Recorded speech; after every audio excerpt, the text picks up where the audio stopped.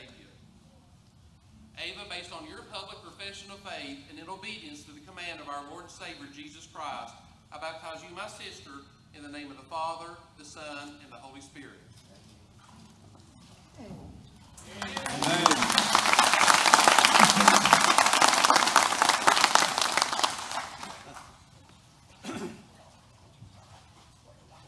This one's a little taller.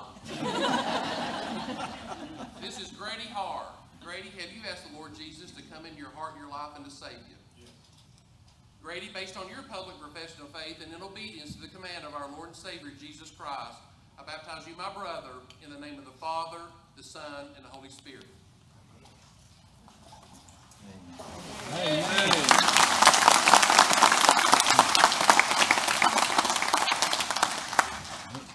Let's pray. Father, thank you so much, Lord, for being in our midst this morning. Thank you so much for what you did for us at Calvary. Lord, you're so good to us, and I pray, Lord, that there's other people here today that don't know you, today believe the day of salvation for them. Thank you again for everything you do for us. In your son's sweet name we pray. Amen.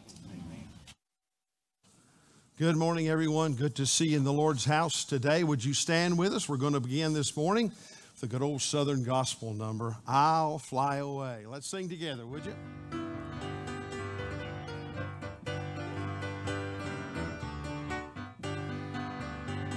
Some glad morning when this life is o'er,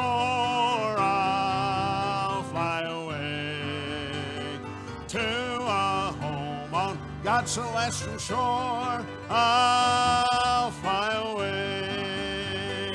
I'll fly away, oh glory, I'll fly away.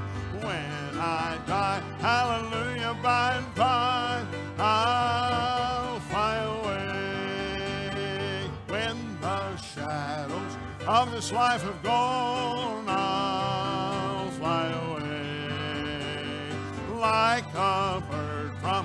prison bars is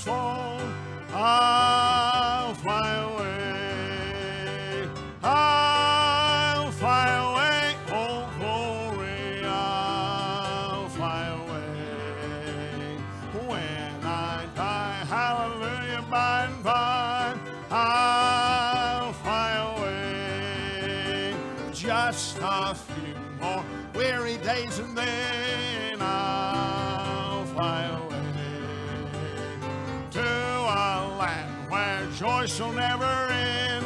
I'll fly away. I'll fly away. Oh, glory, I'll fly away. When I die, hallelujah, by and by, I'll fly away. If you're going with us, give him some praise. Amen. Thank you so much. You may be seated this morning. We used to have a black fella come and preach over at Sinking Creek every once in a while. He sang that song and he made you put your hands out like this when you sung that chorus. Sing I'll Fly Away. And I thought, boy, I got too many dignified Baptists to try to pull that off today. We're glad you're here this morning.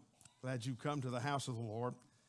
We've come here for one reason that's to worship our Lord and Savior this morning, glorify His name. The other is to tell you the truth so that if you don't know Him, you may know Him today before you leave. We'd love that. We want to sing for you now, the choir does, For the Lord our God reigns. We hope you enjoy it.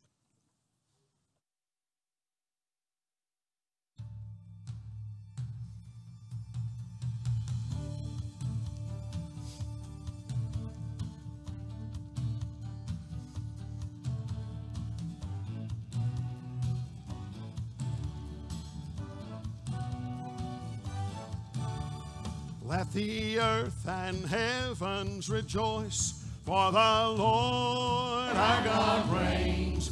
Every child of God lift your voice, for the Lord our God reigns. Jesus Emmanuel, He has set us free.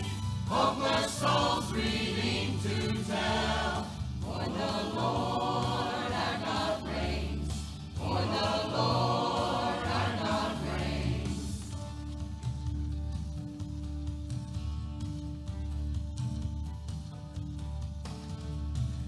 Every heart be filled with His light, for the Lord our God reigns. All the hopeless dance with delight. For the Lord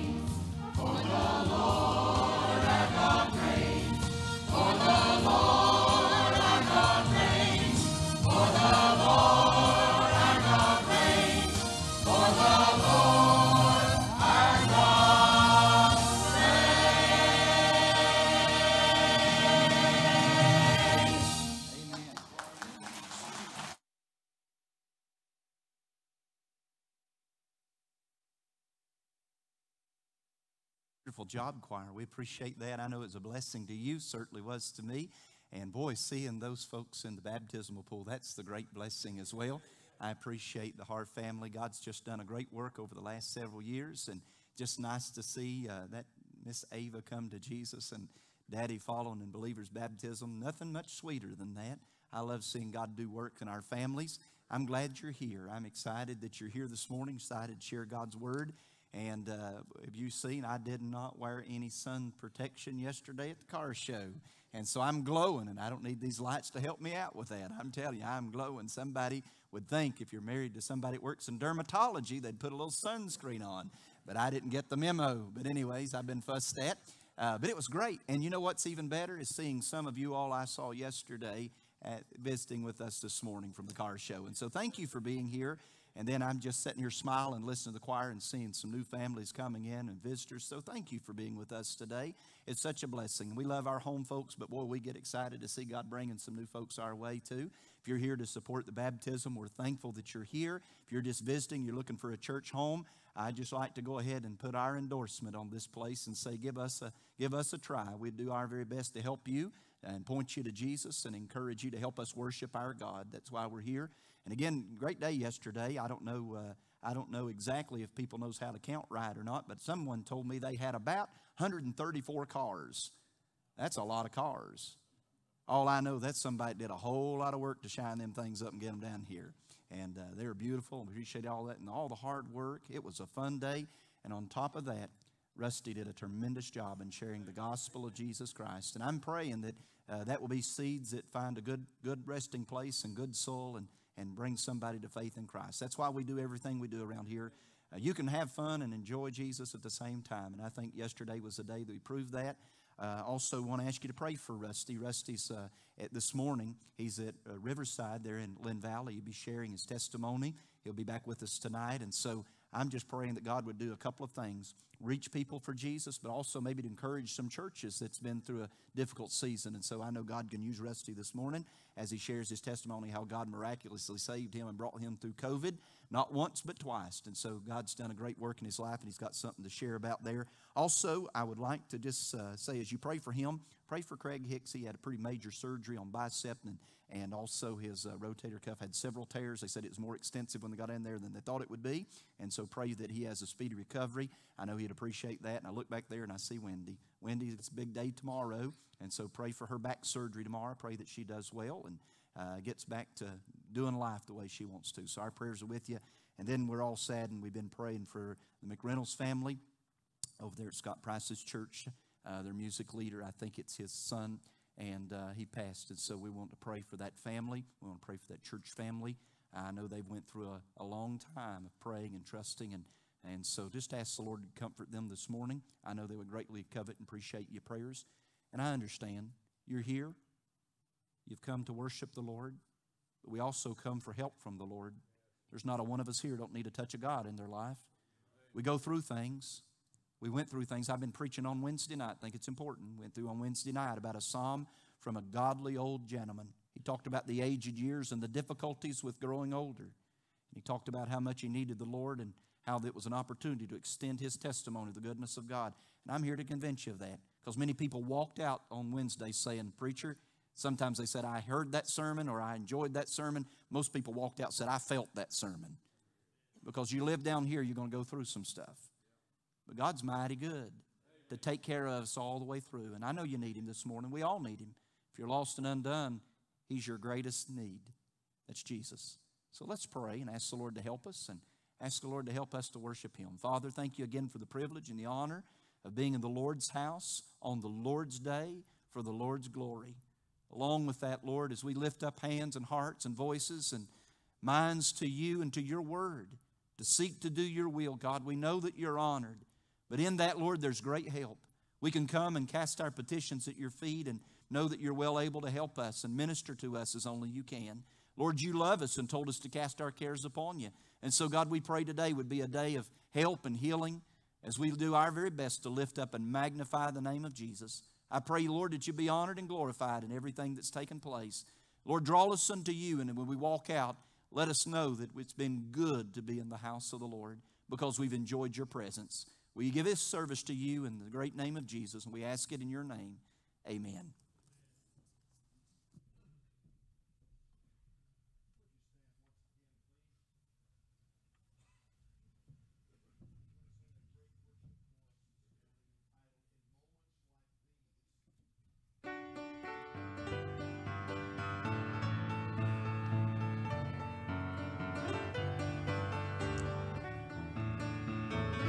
This morning, will you? In moments like these, I sing out a song. I sing out a love song to Jesus. In moments like these, I lift up my hands. I lift up my hands to Lord,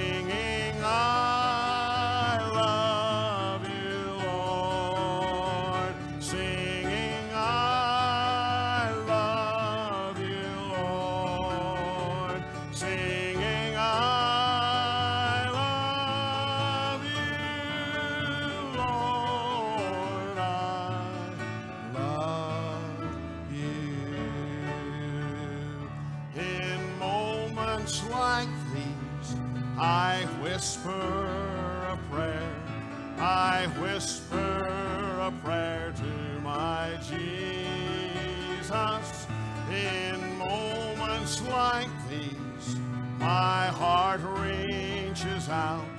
My heart reaches out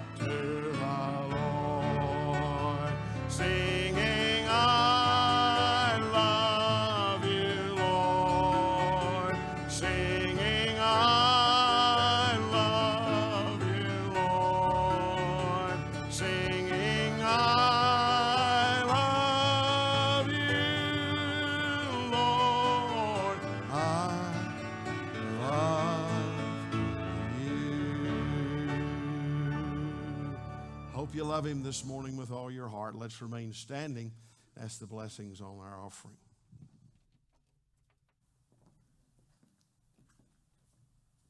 I'm going to say a few words, uh, and then I'll let Jamie say the prayer for you.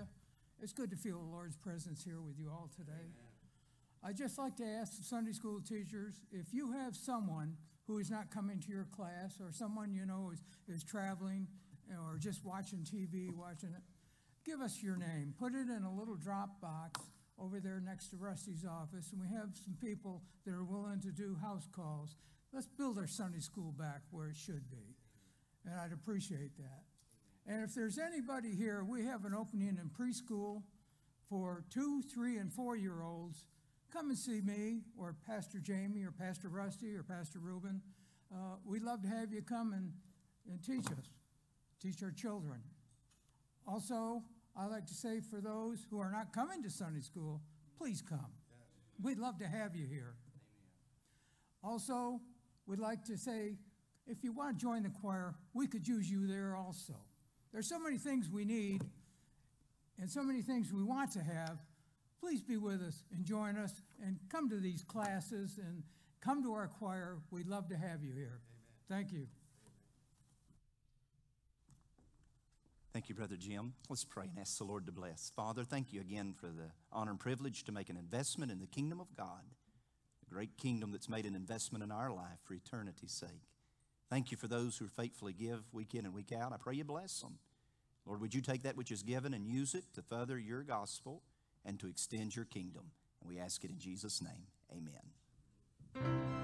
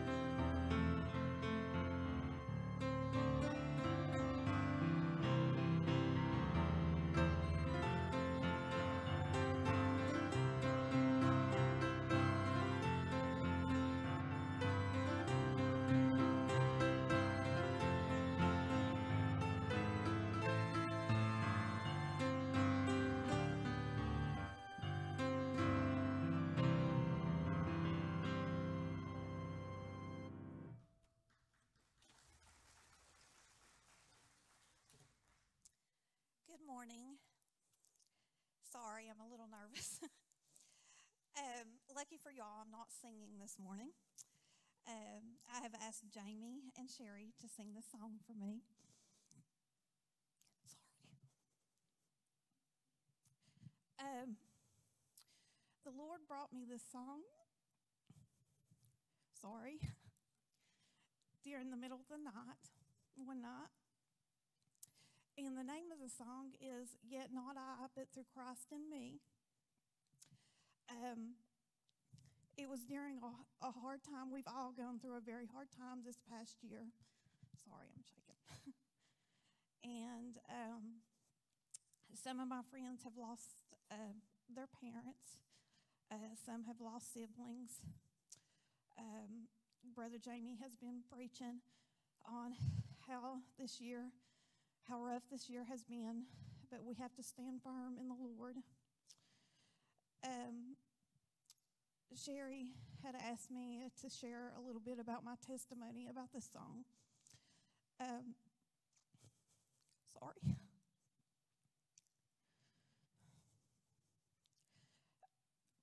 Back, I guess it was um, October or November.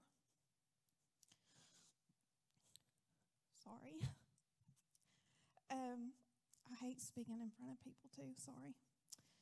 Um, I had both of my parents in the hospital.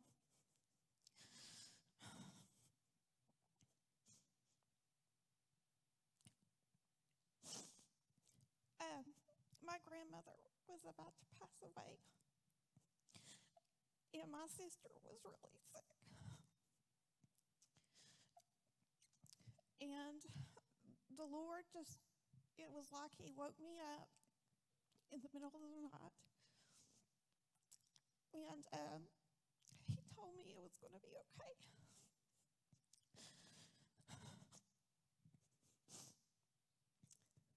Um, just know that no matter what you're going through, as long as you have God and if you're saved and He is in your heart, He will bless you even through the hard times and through the storms in your life. And you can't do it alone. You have to do it. That's why I love this song. It says, Yet not I. It's not I that can do it alone. It's Christ in me. And a little bit of the song it says, The night is dark, but I am not forsaken. For my side, the Savior, He will stay. I labor on in weakness and rejoicing, for in my need his power is displayed. To this I hold, my shepherd will defend me. Through the deepest valley he will lead. Oh, the night has been won, and I shall overcome, yet not I, but through Christ in me. And just listen to the words to the song. It's uh, it's really wonderful and it's been a blessing to me. And I literally listen to it almost daily.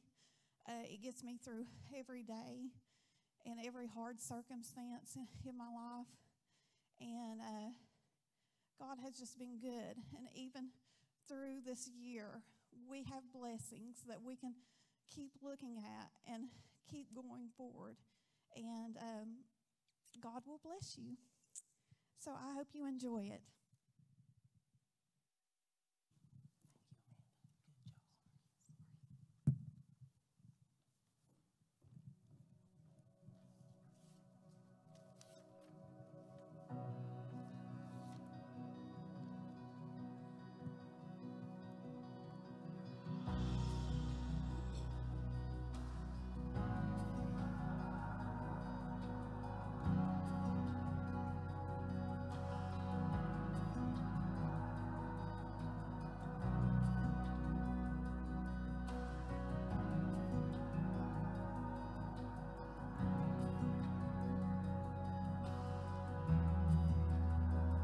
What gift of grace is Jesus my Redeemer? There is no more for heaven now to give. He is my joy, my righteousness and freedom, my steadfast love, my deep and boundless peace. To this I hold, my hope is only Jesus. For my life is wholly bound to His. Oh, how strange and divine I can sing, all is mine, yet not I, but through Christ in me.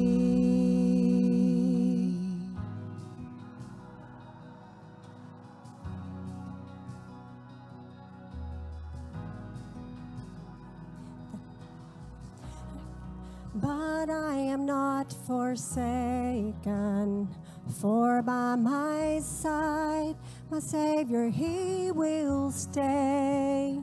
I labor on in weakness and rejoicing, for in my need his power is displayed. To this I hold, my shepherd will defend me. Through the deepest valley he will lead. Oh, the night has been won, and I shall overcome, yet not I, but through Christ in me.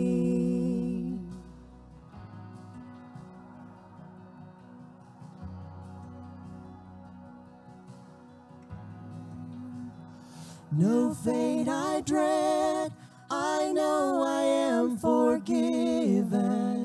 The future sure, the price it has been paid.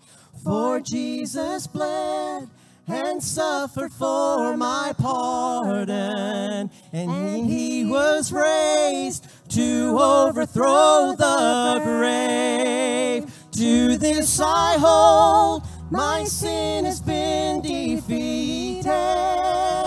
Jesus now and ever is my plea. Oh, the chains are released. I can sing, I am free, yet not I, but through Christ in me. With every breath, I long to follow Jesus, for he has said that he will bring me home. And day by day, I know He will renew me until I stand with joy before the throne. To this I hold, my hope is only Jesus. All the glory to Him. And when the race is complete, still my lips shall repeat, yet not I, but through Christ in me. To this I hold, my hope is only Jesus. All the glory evermore to Him. The race is complete, still my lips shall repeat, yet not I, but through Christ in me. When the race is complete, still my lips shall repeat, yet not I, but through Christ in me. Yet not I, but through Christ in me. Yet not I, but through Christ in me. In me.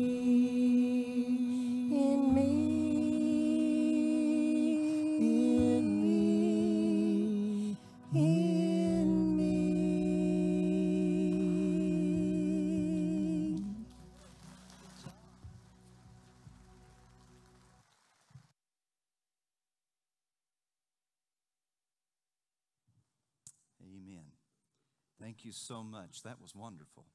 Beautiful. Amanda, thank you for sharing your heart. Lydia, Bobby, I'm, I'm blessed that you're with us. It was a difficult year last year. Could have lost both of them. God's mighty good to us. Chinquapin's got so many success stories. Jamie, Sherry, thank you for sharing. What a beautiful, wonderful song. Pray it prepares our hearts to receive the Word of God this morning. We're in Luke chapter number 22. Luke chapter number 22. We're leaving the upper room in Jerusalem and we're headed towards Gethsemane. And um, we're, we're looking at yet, it's hard for me to even introduce this text. We're looking at yet another failure. Peter denying the Son of God. Jesus reveals that. Very difficult day in the life of Peter. But don't give up on Peter. Don't throw him under the bus. All he needed was a little prayer from our Lord will make the difference. We're going to look at that this morning in failing the Son of God. Guys, could you bring me down just a little bit? I think I'm just a little loud. Luke chapter 22, I want to begin reading in verse number 31. If you've found your place and you're able, I would invite you to stand with your copy of the scriptures open. Let's honor and reverence the reading of God's holy, inerrant, infallible, inspired word. Just want to look at verse 31 through 34 with you this morning.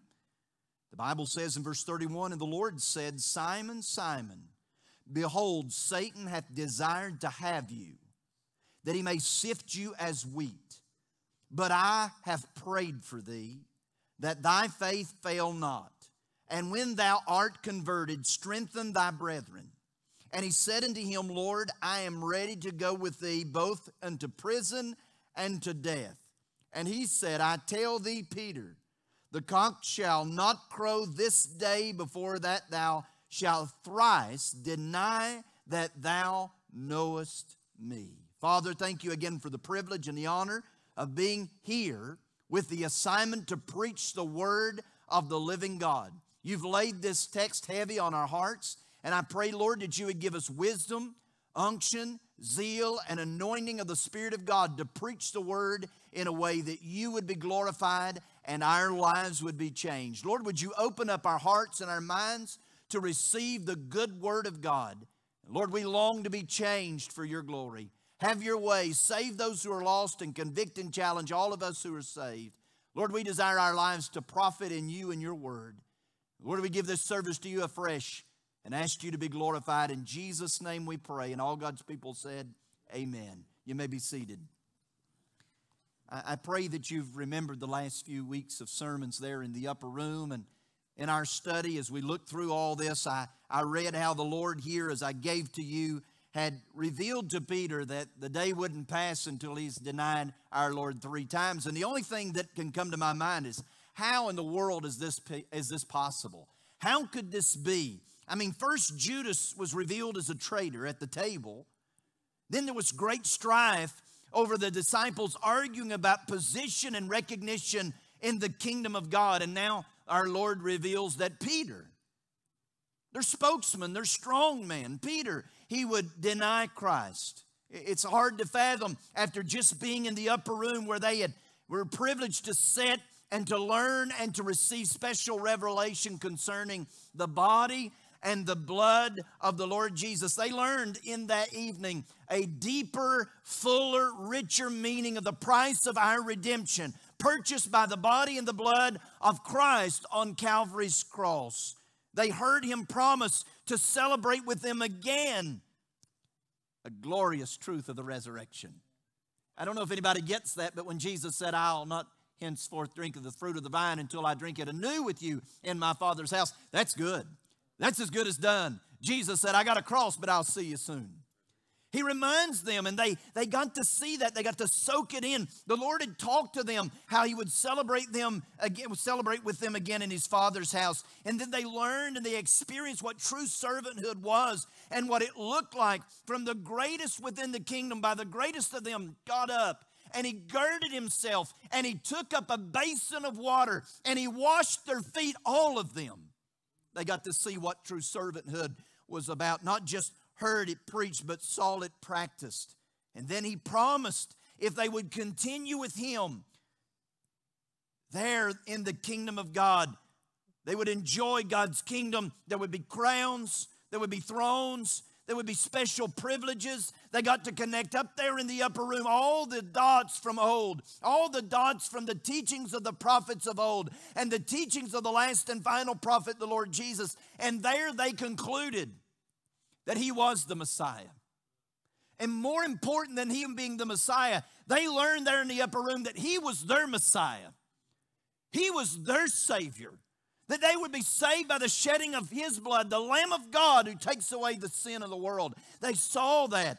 They knew he was their sacrifice and their atonement for sin. So, how could it be that Peter would now fail the Son of God? That he would openly deny Christ, not once, not twice, but three times? How could they have such sweet fellowship in an upper room with clear revelation of truth in one moment and the next become an absolute failure? in Christ. Again, I, I told you early, I, I'm not here to kick Peter under the bus because more times than not, I see myself in Peter than any other. And I've come to tell you, I'm going to fast forward in my sermon, I'll get there again, but I want to tell you that Peter's not the same after the resurrected Lord encounter with Peter. Uh, I told you last week, you know, church is not perfect, but we need to follow hard after Christ because he said if we continue, we're going to get it. We're going to make it. And there will be a kingdom. There will be thrones. There will be crowns. There will be special privileges. So, how in the world, after such an exciting evening in the upper room with Jesus, would there be a revelation that, Peter, you're going to fail me? You're going to deny me three times. Here's what I've learned. Here's what I'm learning. Here's what I'm come to share with you. Many times after our greatest victories come our greatest battles. Does anybody know what I'm talking about this morning? Sometimes after your greatest spiritual victories, and there in the upper room had to be the pinnacle of their Christian life, comes some of our greatest blessings. Let me give you the text this morning as the Lord has given it to me. Verse 31 shows me the Lord preparing Peter for his most difficult season, his most difficult trial in his life. He says in verse 31 again, he said, And the Lord said, Simon, Simon, behold, Satan desires to have you that he may sift you as wheat. Somebody put yourself in Peter's shoes right now. Somebody put yourself there finishing a wonderful night in the upper room. On your way to Gethsemane, Jesus turns to you and said, The devil wants you. I'd want to hide under his coat. The devil desires Peter to sift you as wheat. I don't know about you, but that scares me. That makes the hair stand up on the back of my neck. And all of this was Peter being prepared by the Lord and his omniscience. See, God knows in the person of Jesus, he knows the activity of Satan. But you and I, like the disciples of old, are oblivious to most of the activity of the devil. But we have an eye in the sky. We have one who never sleeps nor slumbers, who is always watching out for us, who is keeping watch over our souls. And while on the journey from the upper room to Gethsemane, our Lord lays this bombshell in the lap of Peter. All was not well. He needed to take advantage of what our Lord was saying. The Lord needed to get Peter's attention, and so he used a tactic to arrest his heart and his mind. How does he do that? By changing his name back to the former name. He says, Simon, Simon. Can you please hang with me for the last two sermons? Jesus had just in the upper room put their heads back up in the ecclesiastical clouds, and they were arguing who's going to be all that in the kingdom of God.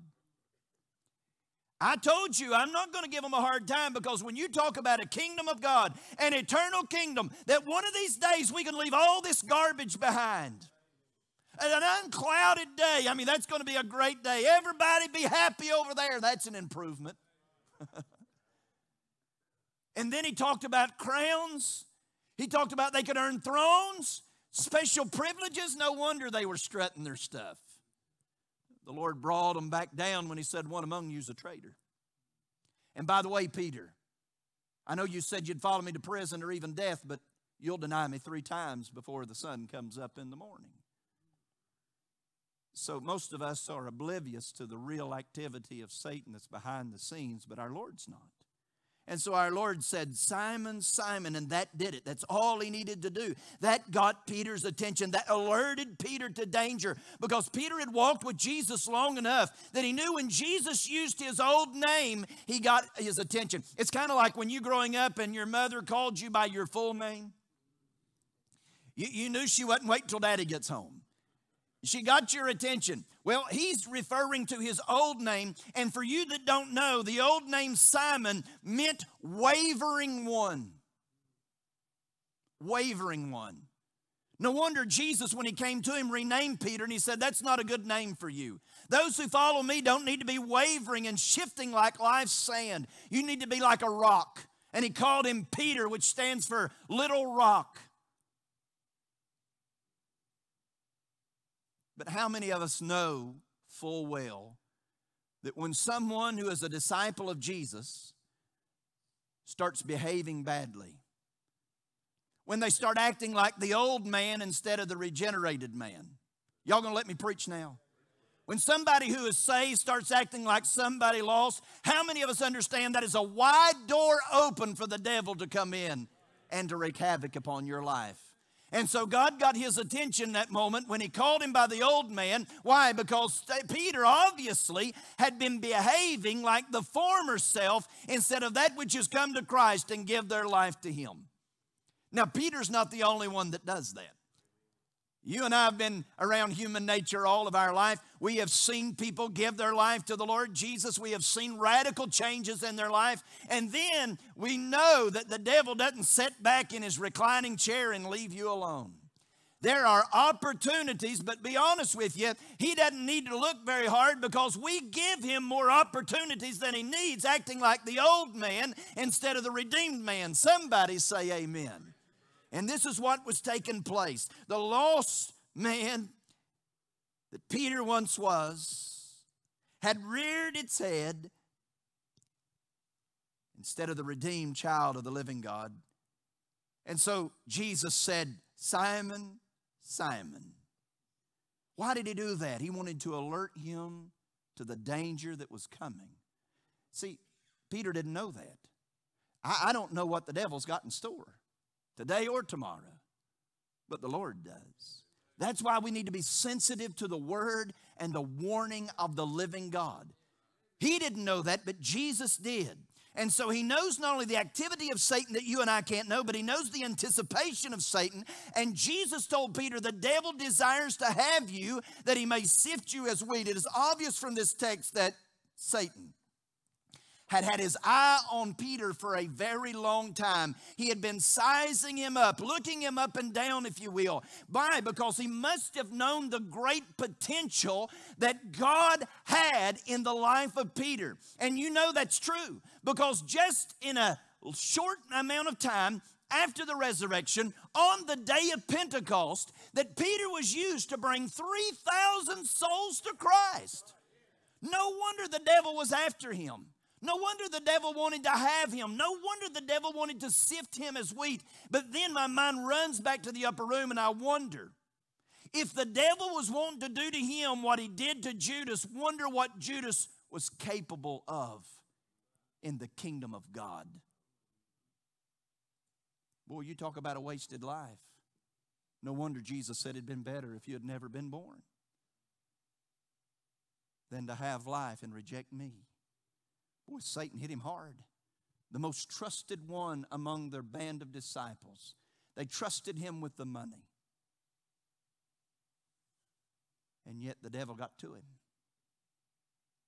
The Bible said, entered into him. He chose the devil over Christ. But can you imagine? Can you imagine what Judas could have done if he'd have surrendered his all to Jesus? What, what are you trying to say this morning? Here it is in a nutshell Satan knows the potential that you have for Christ. And he goes after those who have great opportunity and potential to do something great for the kingdom of God. You don't understand his activity, but God does. You don't understand what he's anticipating, but God does and reveals to us. God's not in, I, I'm telling you, God reminded him that he desires to have you, that he may sift you as wheat.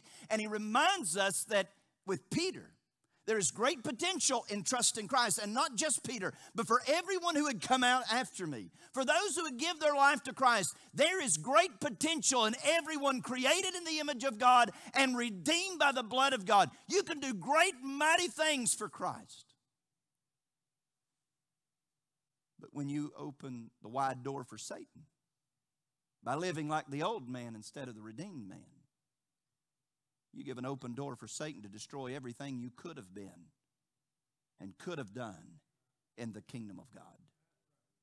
Yeah, Satan, Satan's not interested. Hear me.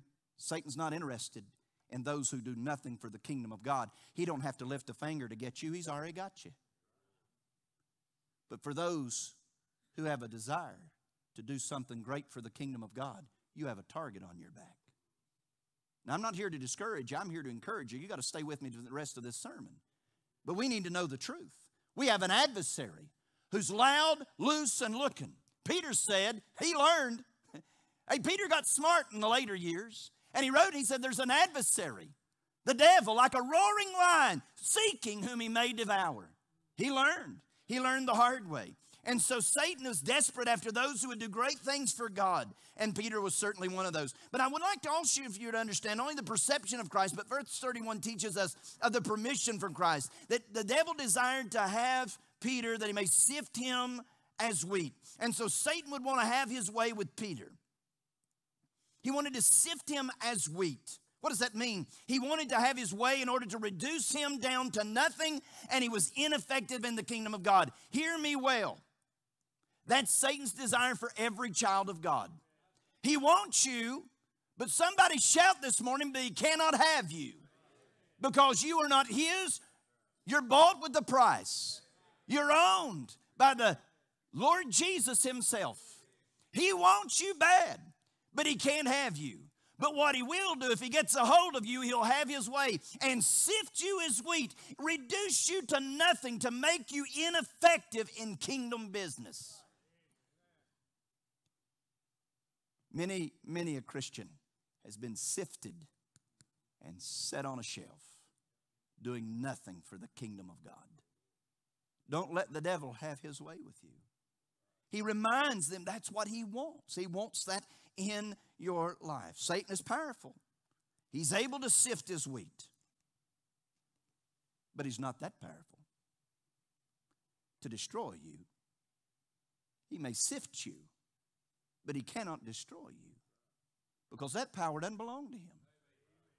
And by the way, somebody just get a little excited in this sad sermon to realize that everything, everything that Satan is able to do is by permission only. He is not all powerful, he's very powerful. Ladies and gentlemen, you're no match for the devil. You mark me different from those televangelists that said they want to swing out on, over hell on a wet noodle with a water pistol. Have at it. I understand I'm no match for the adversary, but I stand with Christ. And in Him, I'm more than a conqueror. He's a defeated foe. And anything that comes my way must pass through the hands of the living God first. What does that mean? Even though it may be a time of sifting, even though it may be a time of difficulty, nothing comes to me that doesn't go through God's hands first. And Satan only operates by permission only. And yes, Peter was about to face one of the greatest, if the most greatest trial of his life. But remember, the Lord allowed it. And so I can pound, I can whine, I can cry. Why am I being sifted? Why is the devil after me? Why is why why is this happening? Well, I can rejoice. I can whine or I can rejoice because I know who's on top. I know who's still seated on the throne of glory, and I know whose I am. And nothing comes to me that doesn't pass through him first. So, therefore, whether I like it or not, it is for my good and his glory. And so Peter understood if the Lord allows it, the Lord will use it to better us, to strengthen us, to sanctify us. If you don't believe me, ask Job. You don't want to ask Job, just wait a little while and you'll see there's a better, stronger, more improved Peter after the resurrection of our Lord. You know, I, I used to get aggravated from the old timers when I was young and going through a tough time. They'd just look at you and say, Well, you'll be stronger on the other end. What don't kill you is good for you. Y'all remember some of those sayings? You're like, oh. now you're old enough where you live through it and you understand. If it comes to us as a believer, they may mean for evil, but God means for good. And God promised us and pledged Romans 8 28. Somebody needs to hear this this morning. That all things, did you hear that? All things, good, bad, indifferent, tragic, all things work together for good to them that love God and to them who are called according to his purposes. If you're a child of God, just hang on. God's the only one I know can take lemons and make lemonade. God's the only one I know can make a terrible situation a way to profit your life and bring praise unto our God. That's what he's teaching us. So the Lord prepares Peter for the greatest trial of his life. And then verse 32, oh, this warms my heart. The Lord prays for Peter. Look at it. But I have prayed for thee that thy faith fail not, and when thou art converted, strengthen thy brethren. And so I want to talk about the power of the Lord's prayers. They bring great assurance. You know, I, am thankful for a praying church. I, I, I don't, I, I know many people are here because you're a part of a praying church. I mean, those who know my story, I know we have new people coming in every week, and I praise God for that. I want to get to know you. I want to know your story. I want you to know my story. But I'm telling you right now, this man would not be sitting right here if it weren't for seven straight weeks of prayer around the altar that God prayed him home. When doctors said there's no way, God's people prayed. And my dad's here. Rusty's out on a preaching tour because you did it again. I mean, what's wrong with you folks? You just keep believing Jesus. You just keep praying when everybody else says you don't need to pray. You just keep trusting when doctors said there's no hope. What's wrong with you all? We've tapped into a whale. We found out there's one greater. We found out that he loves his children, said, Cast all your cares upon me. And I feel terrible because a few weeks ago we did that, tar- that cardboard testimony. It was miracle after miracle after miracle, and we left out most. God's been mighty, mighty good to this church, and I love praying people. And I'm blessed to have a group that surrounds me that are called deacons that pray for me. Morning, noon, or night, something come up, I can pick up the phone. I don't have any qualms and I don't even have any doubts. I know they're going to come together and they're going to pray for me. They proved it over and over again. I'm thankful for that. Matter of fact, if I had tragedy hit my life right now, I'd have no problem to say, Church, I need you. I need your prayers because I know I can depend on the praying, the prayers of God's people.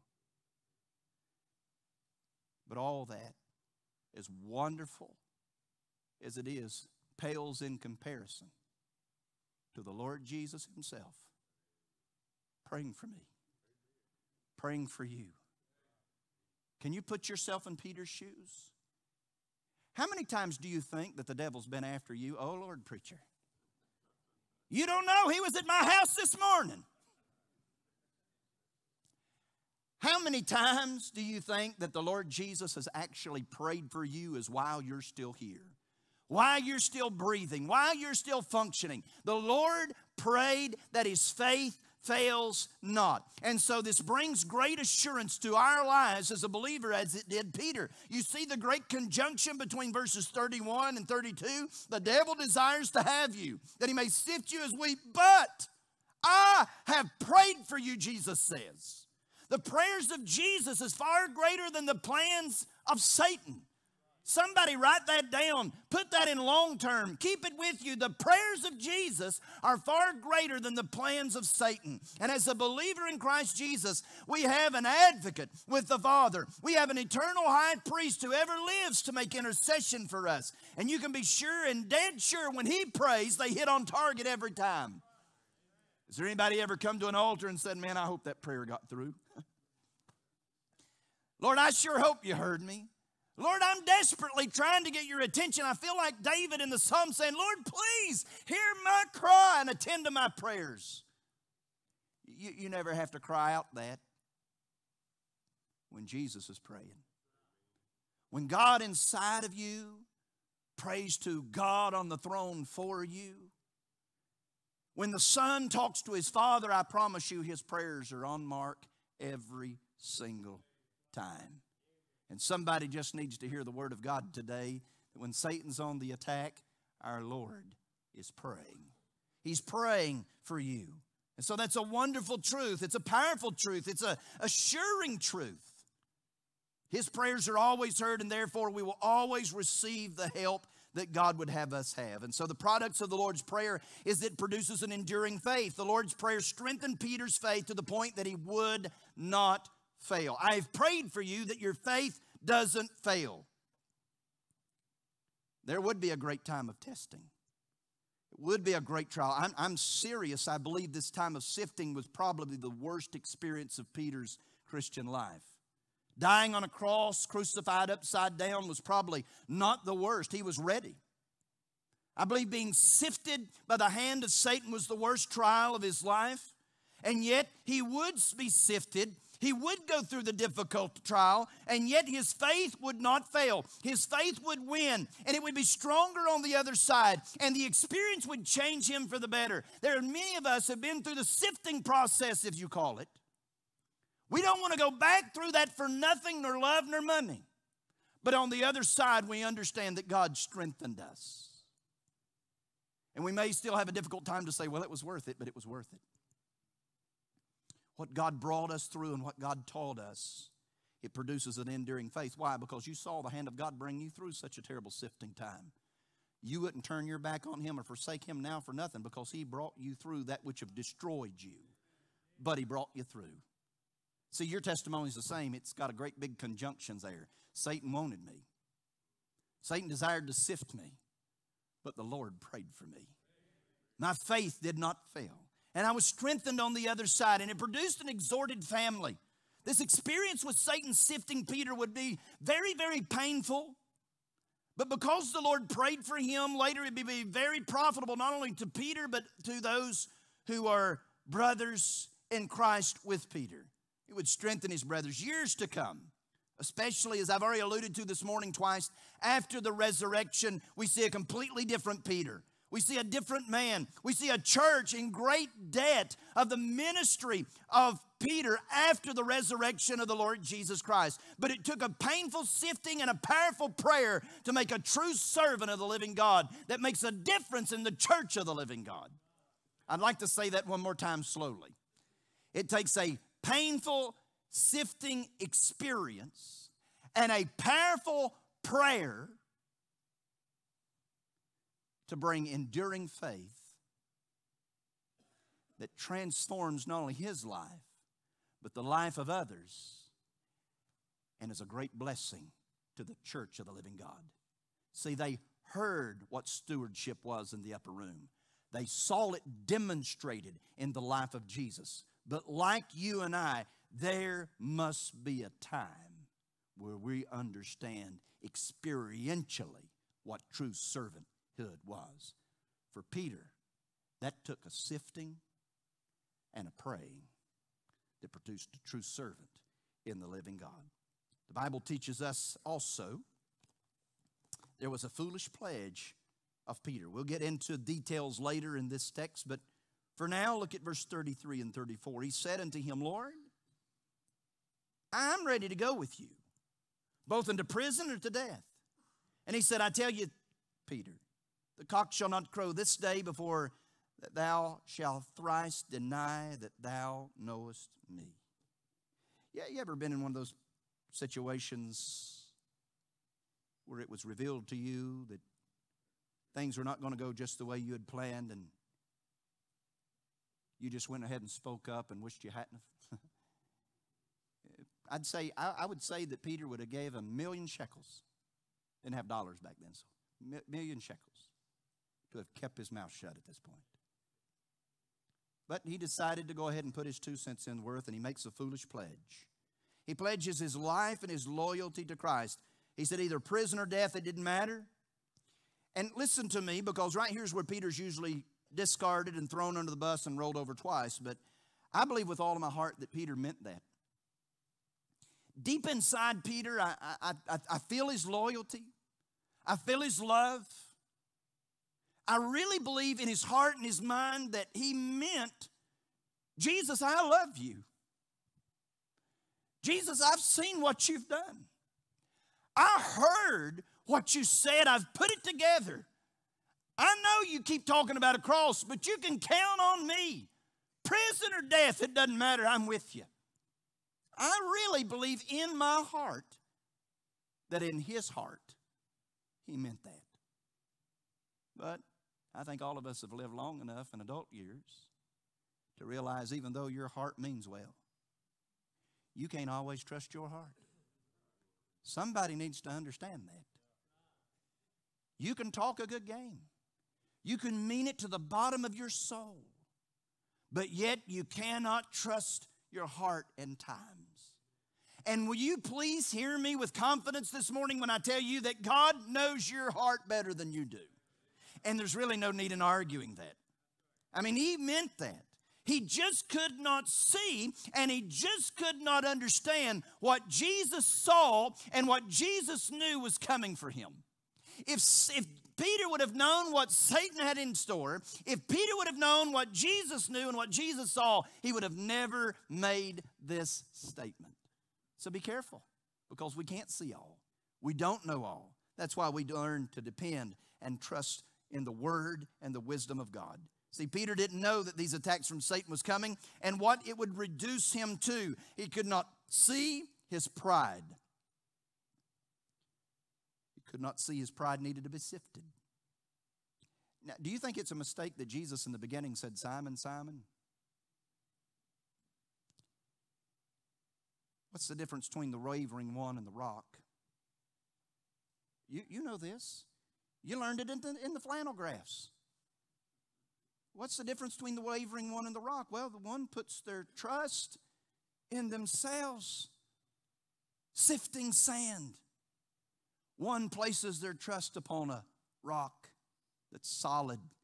The storms will come and it'll never, never blow. You, you, you know what happened? You, you can put it together. You know what happened? Peter started trusting in Peter instead of Christ. And it's what Peter didn't understand because, boy, that can get ahead of you before you know it. Anybody give a testimony? I can get ahead of you before you know it. I'm doing all right now. No, you're not. Be careful when you say I'm doing all right. Can I quote the song? You need him. You need him every hour. You need him more than your next breath. You need him more than you think you do. And so, what Peter didn't understand was pride was rearing back up in his life. Hence, Jesus said, Simon, Simon, wavering one, wavering one. You say you're with me, but you're walking alone.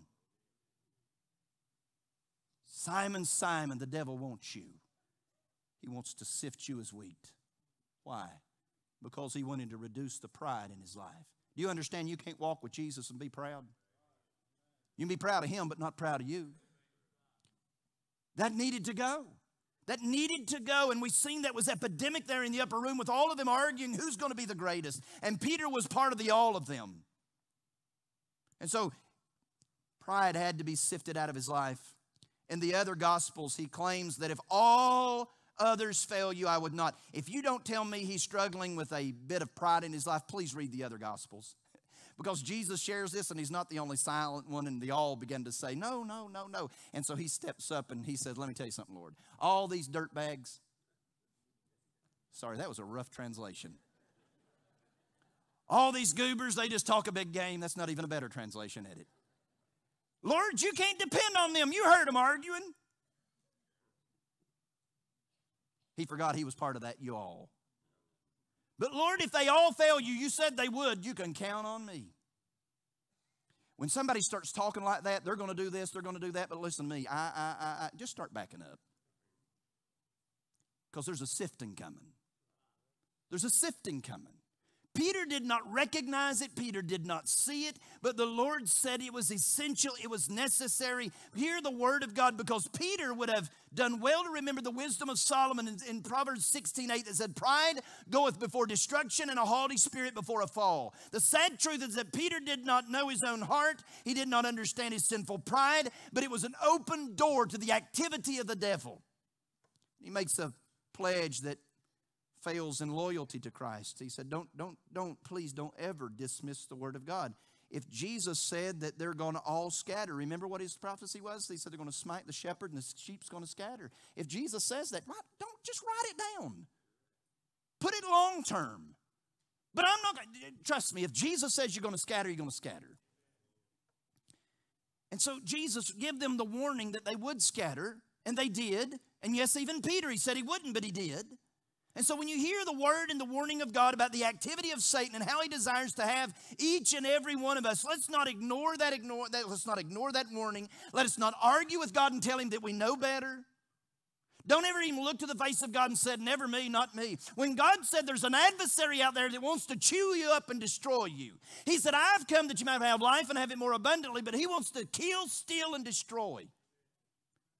Say, Yes, sir. Not me, Lord. No, never me. Maybe them, but not me. Don't, don't do that. Don't ignore the warning of God of our adversary's activity. Hear the word of God. Prepare yourself.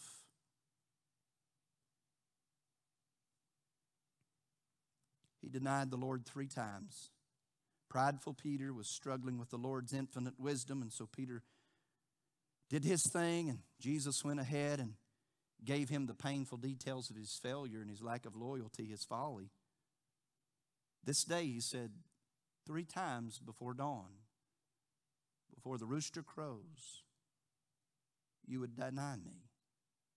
And yet, in spite of all these details, in spite of all the warning, Peter continued to argue and insist that he would not, that he would go to prison for him, he would even die for him.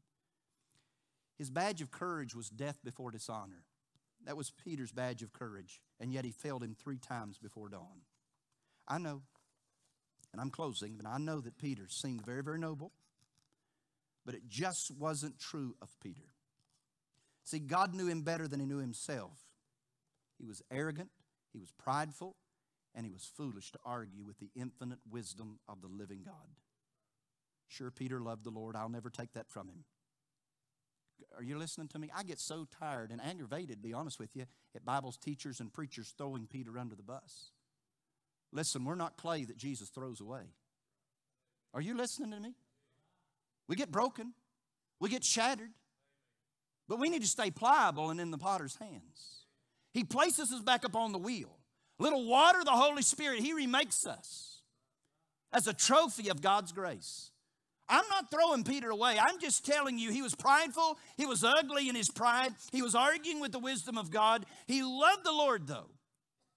He just did not understand his own frailties and his weaknesses brought on in his life by sinful pride. He didn't know the danger of pride.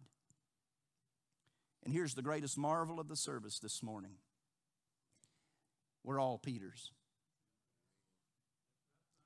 God sees all of our ugly, wicked, sinful pride. And yet He loves us.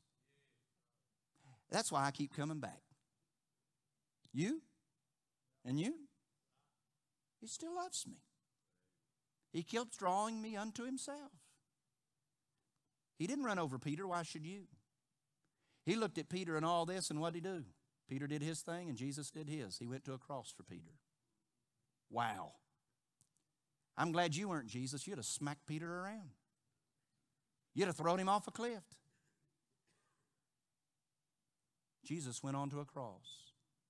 Oh, how he loves you, and oh, how he loves me. He went to a cross. When man was at his worst, God's still at his best. Peter's sin cost, Peter's sin of pride cost him a lifetime of regret. But I want you to notice that it's not what's in our text. What's in our text, Jesus does not upbraid him. He does not write him off. He does not consider him useless creature and a broken reed. He loved him.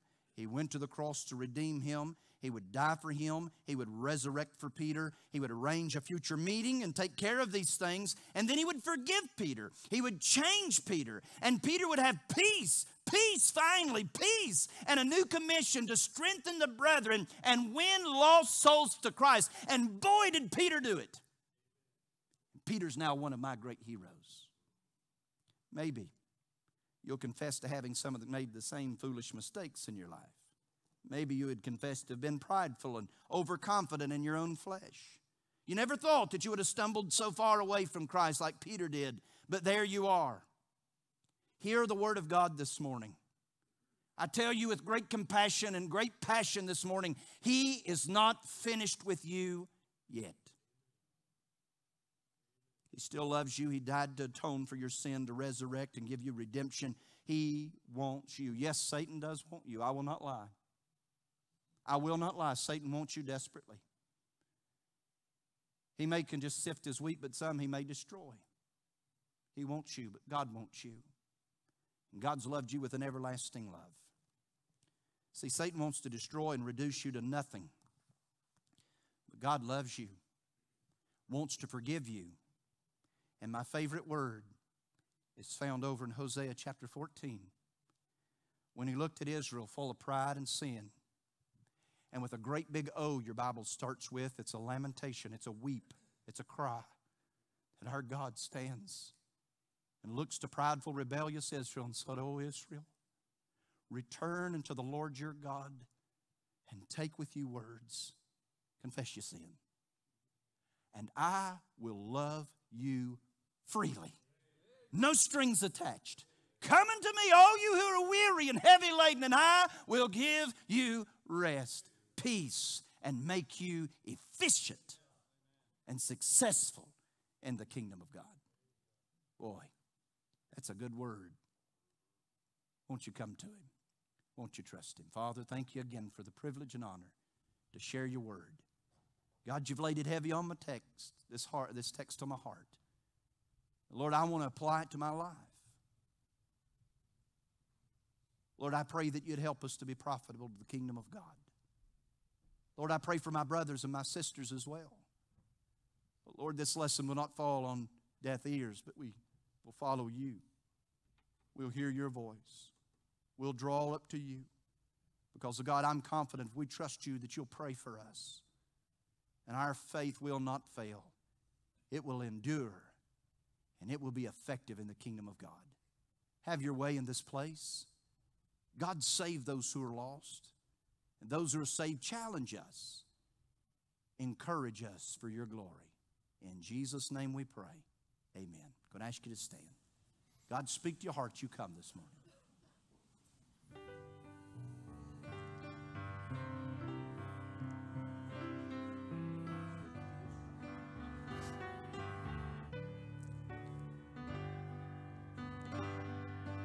What fellowship, what a joy divine, leaning on the everlasting arms.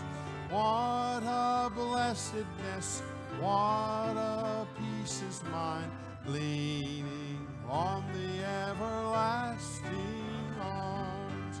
Leaning, leaning, safe and secure from all alarms.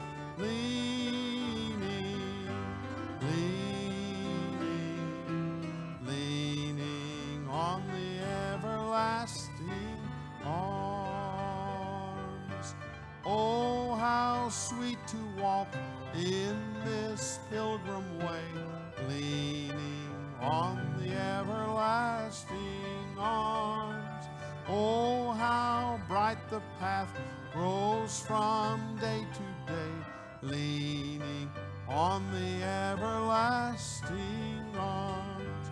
Leaning, leaning, safe and secure from all alarm. Leaning, leaning,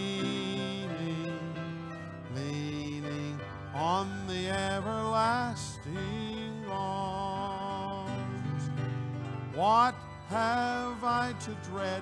What have I to fear? Leaning on the everlasting arms. I have blessed peace with my Lord so near, leaning on the everlasting arms. Leaning, leaning, safe and secure from all alarm. Leaning, leaning, leaning on the everlasting arms. What a fellowship, what a joy divine, leaning on the everlasting arms. What a blessedness, what a peace is mine, leaning on the everlasting arms. Leaning, leaning, safe and secure from all alarms. Leaning,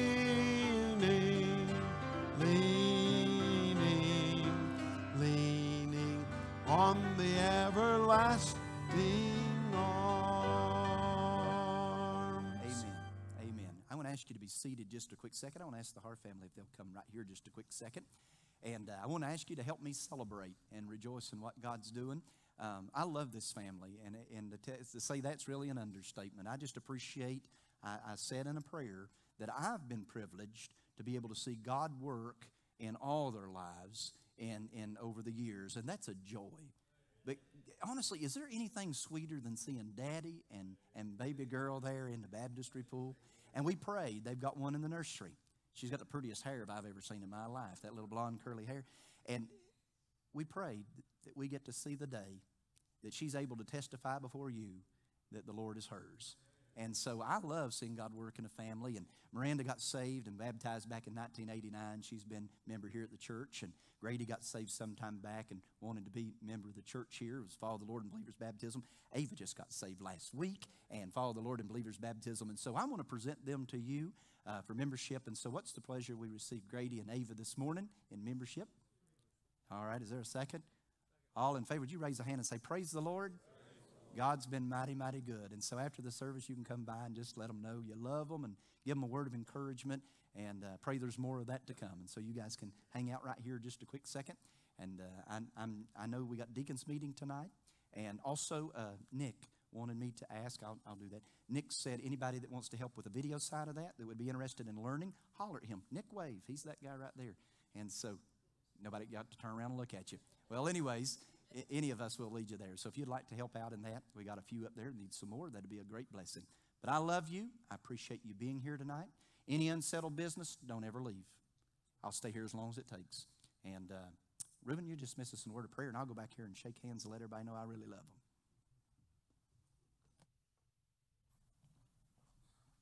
Boy, how far we've come. Nick's in charge of our video. Let's pray and be dismissed. We look forward to seeing you here this evening. Father God, thank you for all that you do for us. Uh, thank you for adding souls to the kingdom. Thank you for folks uh, being faithful and obedient to follow you in believers' baptism. May there be more. Lord, quicken our hearts to share you with everyone that we know this week. In Jesus' name, amen.